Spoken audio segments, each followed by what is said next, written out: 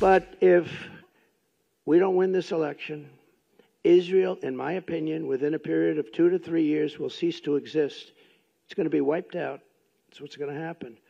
It's a tough thing to say, but what difference does it make from my standpoint? I have to tell you the truth, and maybe you'll be energized because there's no way that I should be getting 40% of the vote. I'm the one that's protecting you. These are the people that are going to destroy you, and you get you have 60% of the Jewish people essentially voting for them.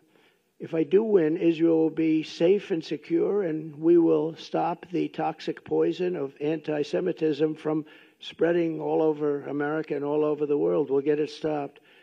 But if I don't win, I believe Israel will be eradicated. And you can't let that happen. And I don't think you will let that happen. So you have to, Rabbi, you have to get everybody together and you have to get them to vote because it, it's craziness to say, I'm at 40%. And when I heard that number today, it just came out today. When I heard that number today, I think it was insulting to our country. It was insulting to Israel.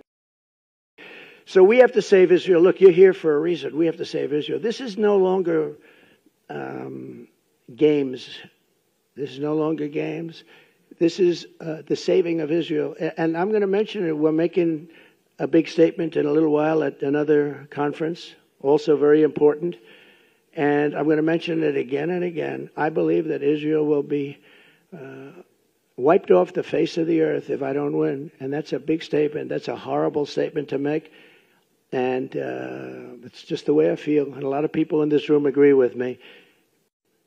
In my opinion, the Jewish people would have a lot to do with a loss if I'm at 40%. If I'm at 4 think of it, that means 60% are voting for Kamala, who in particular is a bad Democrat. The Democrats are bad to Israel, very bad. They'll never change because they have a section of their party now which has become amazingly and quickly very powerful vote wise. I mean, Chuck Schumer is a Palestinian. All across our land, you've seen Jewish Americans harassed and attacked and terrorized by anti Semites and Hamas sympathizers. I can't believe what we've been witnessing over the last year. Actually, I've watched it in great detail. I've watched it and I've watched it take place. It's hard to believe. Yet, despite presiding over this explosion of anti Semitism, Kamala Harris has done absolutely nothing she has not lifted a single finger to protect you or to protect your children or to even protect you with words.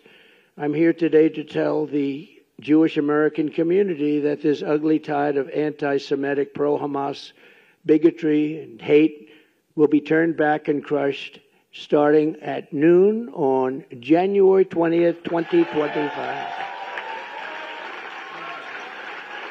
Thank you. You know, 15 years ago, Israel was the strongest lobby, if you want to use the word lobby, had the strongest representation of people like this. These are great people, Miriam. But the strongest there was, if you said something about a Jewish person or something about Israel that was bad, you were out of politics. Unless your name was Ted Cruz, he could, he could get through. I think Ted could get through, but maybe not. Maybe even Ted. But it's true. You said something about Israel that was bad. It was like Today, you have to fight. We all have to fight for Israel. There's never. I, I am so surprised to see it, but we're going to win the fight, so don't worry about it. Okay, we'll win the fight.